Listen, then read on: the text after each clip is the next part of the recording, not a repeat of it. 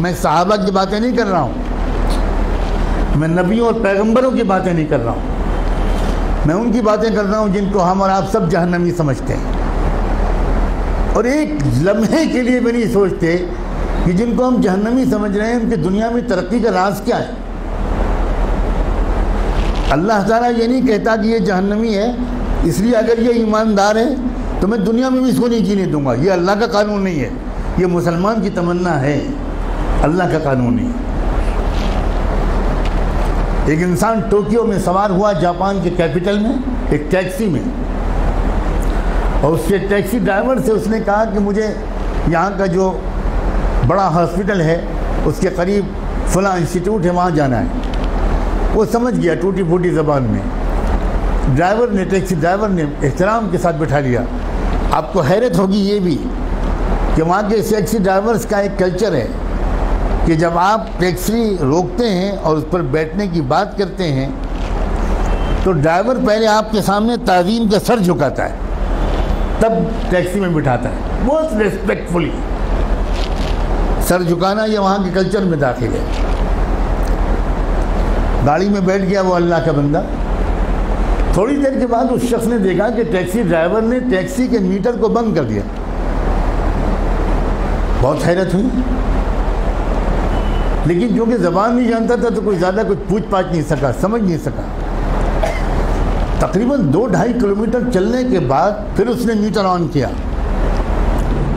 تو جب وہ مسافر اپنی منزل پہ پہنچا تو وہاں مقامی لوگوں نے جو استقبال کیا، وہ سب وہیں کے لوگ تھے، وہاں کی زبان جانتے تھے۔ تو اس مسافر نے ان مقامی لوگوں سے کہا کہ ذرا ڈرائیور صاحب سے پوچھئے کہ اس نے راستے میں دو ڈھائی کلومیٹر تک کے لیے میٹر بند کیوں رکھا؟ میں تو پورا پیمنٹ کرنا چاہتا ہوں اس نے میٹر درمیان میں بند کیوں کیا؟ تو اس ٹیکسی ڈرائیور کا جواب تھا کہ اصل میں مجھے جہاں سے مڑنا تھا، میں ذرا سا چوک گیا اور میں وہاں سے آگے بڑھ گیا۔ تو دو ڈھائی کلومیٹر پہلے وہاں سے کوئی ٹرن نہیں تھا۔ تو جو مسافت میں نے اپنی غلطی سے بڑھائی، اس کے پیسے میں مسافر سے نہیں لے سکتا۔ نہ اس نے چلہ لگایا تھا نہ وہ نماز پڑھتا تھا، نہ وہ کلمہ پڑھتا تھا، نہ اس کی داڑھی تھی، نہ جبہ تھا، نہ ٹوپی تھی، نہ پگڑی تھی، مگر ایمانداری تھی۔ ہمارے پاس یہ سب ہے اور ایمانداری نہیں۔